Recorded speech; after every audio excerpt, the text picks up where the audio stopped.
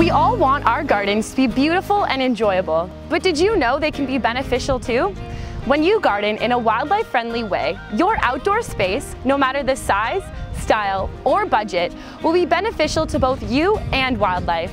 Gardening with wildlife in mind is a powerful way to support animals that pollinate our fruits and veggies, keep potential pest species like mice and mosquitoes in check, and strengthen plants by returning nutrients to the soil.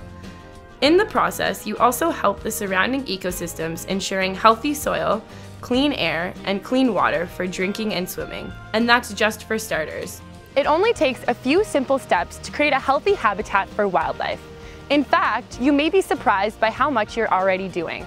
First, there's food. Planting nectar and pollen-rich flowers attracts pollinators like butterflies, bees, and flies, like the hover or flower fly.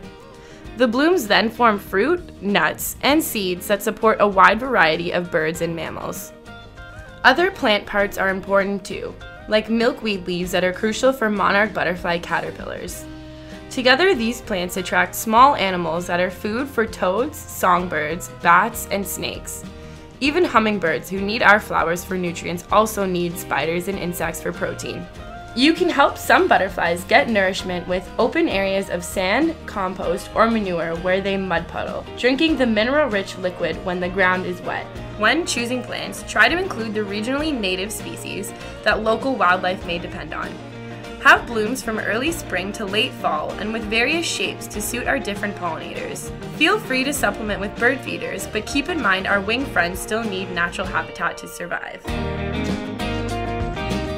Water is another key element that wildlife needs, in this case for drinking and bathing. You can do this by taking a simple kitchen dish or a bought bird bath. Make sure the dish is shallow and easy to clean to prevent the buildup of bacteria as well as changing the water often, especially when the weather's hot. Water can provide aquatic species with food and shelter, as with frogs and dragonflies.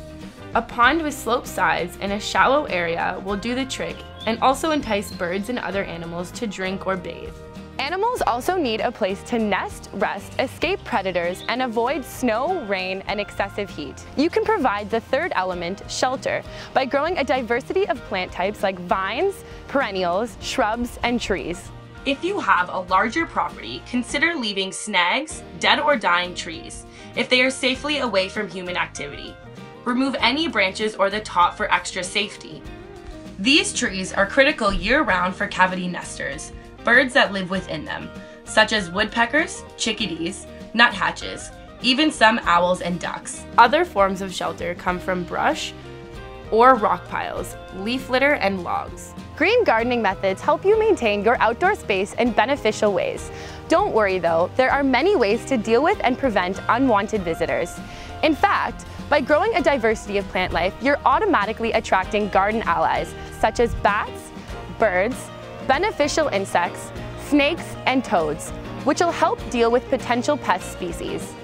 Other beneficial gardening practices include composting, which makes a free, nourishing soil amendment, and mulching, which keeps weeds down and helps balance soil temperature and moisture.